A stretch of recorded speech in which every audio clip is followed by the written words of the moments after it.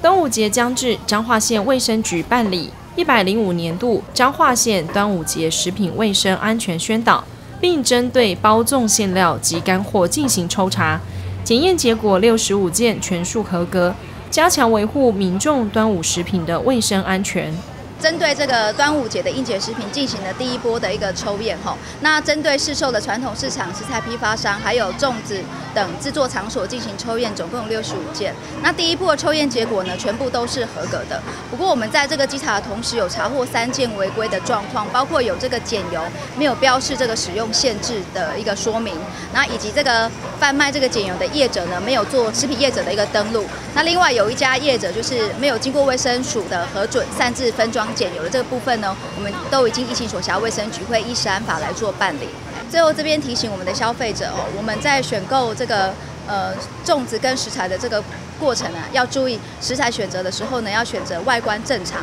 颜色自然、没有异味的一个一个食材。当你在买食品的时候，一定要特别注意，如果有问题的食品哦，千万不要吃。那第二个就是说，你买到的食品标示哈，如果不完整的话，也千万不要买，不要吃哈，这个是第一点。那第二点就是说，我们要呼吁所有的企业经营者哈，你提供出来的这个商品，不管是呃散装的或者是包装的，都一定要能够资讯非常的充分，让消费者能够知道呃它来源是哪里。好，这个是第二点。那最后如果说消费者有碰到任何的消费问题，我们欢迎所有的消费者打一九五零这一次电话，也希望所有消费者记得一九五零这一次电话来跟我们申诉。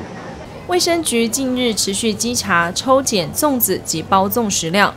要求业者确实遵守规定，也建议消费者在购买粽子干货及配料时，应向信誉良好的厂商购买。卫生局也提供食品检疫检查 DIY 试剂，让民众自行检验。民众可向卫生局及各地卫生所索取，让那个民众免费索取